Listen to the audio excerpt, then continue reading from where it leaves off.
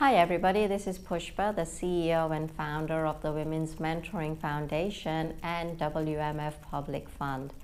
I'm so grateful to be here, and I wanted to give you a little historic travel journey of where Women's Mentoring Foundation started from. So I'm going to call it WMF. We started this project in August 18 2020 because of a journey that I was traveling through at that time. Not that I haven't been through many journeys before that, especially around mental health, there have been. But that time when I was really down in the dumps and I was looking for help and assistance, there was none. And everywhere I tried to reach out for support, whether it was financial, mental, physical, I was coming and facing blockages and barriers. Now, I'm a pretty resilient person. I was strong. I came out of it. I decided not to sit at home and cry. Well, at that time, you know, I was using my car a lot. I was using the free internet outside of the library.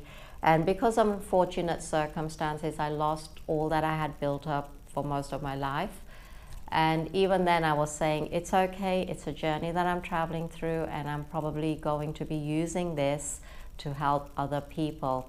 So for me, I had that vision that I'm going through this time because I want other people in being able to have access for mental health, for better emotional health, for better social health, but also to be able to live life at a better quality level. And when I decided to start this program, this organization, this platform, it's because I had witnessed so many women and young people fall through the cracks because the help was not there or they didn't know how or what.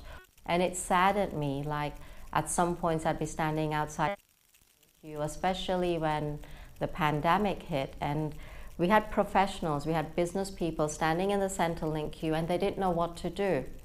So with a friend of mine, we went there, we helped them fill the paperwork, we assured them it was going to be all okay even before they stepped into the office. The other thing was most of my life, many of you probably know or not know, I've done a lot of community work and I've helped a lot of people, whether it's people on the ground at a community level, whether it's people in I'm going to say the word politics or in organizational levels, people of influence. I've helped a lot of people, and when I needed the time, hand on heart, I'm not lying here, there wasn't one person that reached out and said, Do you need help? And everybody, literally everybody knew what had happened. If I was a public figure at that time, everybody knew what had happened but not one person. And I'm being honest here. I can say, oh, it didn't happen. It did happen. Hence the passion for letting you know that you're not on your own. Because my friends, mental health can be something simple as a worry, something that's causing you a bit of stress or anxiety, because it's that little thing that can then turn into another thing and another thing and another thing. And before you know it, your whole body is full with all these little things. So deal with it immediately as soon as you know something's going on and know that you're not on your own. WMF is here. I know we're here for women, but we've helped a lot of men as well. And we're not going to knock anybody back. If we can't help you, then we'll do all that we can to ensure that we can get you the help that you need. So, WMF, the Women's Mentoring Foundation, WMF Public Fund, you can reach us uh, at the website, which is the Women's Mentoring Foundation.com. We have an Instagram page, we have a LinkedIn page, Facebook page, and you can message us. So we've got info at Women's Mentoring Foundation.com. You can message us, and if you want to call me directly, you can even do that on 0497 998829.